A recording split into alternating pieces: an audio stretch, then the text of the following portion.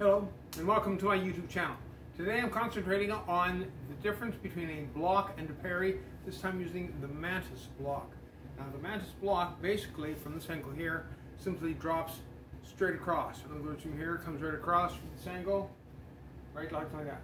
Just slaps it out of the way. The parry on the other hand comes out and pulls back.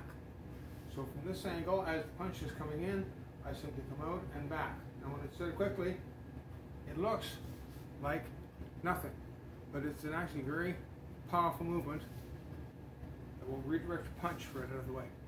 Something like that.